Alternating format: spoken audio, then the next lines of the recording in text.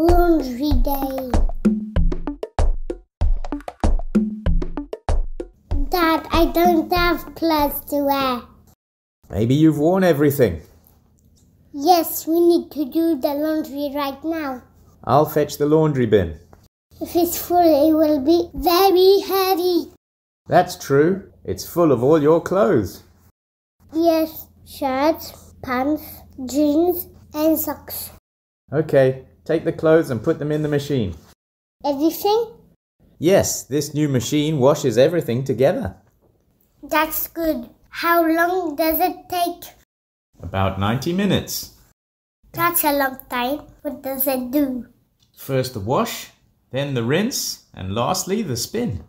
All that in just 90 minutes.